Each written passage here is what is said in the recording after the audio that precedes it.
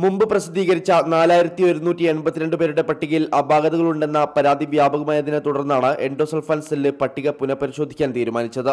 ജനപ്രതിനിധികളും ആരോഗ്യവകുപ്പ് അധികൃതരും ചേർന്ന് ഗ്രാമങ്ങൾ തോറും സഞ്ചരിച്ചാണ് പുനഃപരിശോധന പൂർത്തിയാക്കിയത്. ഇത് പ്രകാരം ആയിരത്തി അറുന്നൂറ്റി ഇരുപത്തഞ്ച് രോഗികൾക്ക് ഉടൻ ധനസഹായം വിതരണം ചെയ്യാൻ കഴിഞ്ഞ ദിവസം ചേർന്ന എൻഡോസൾഫാൻ സെല്ലിന്റെ യോഗത്തിൽ തീരുമാനമായി.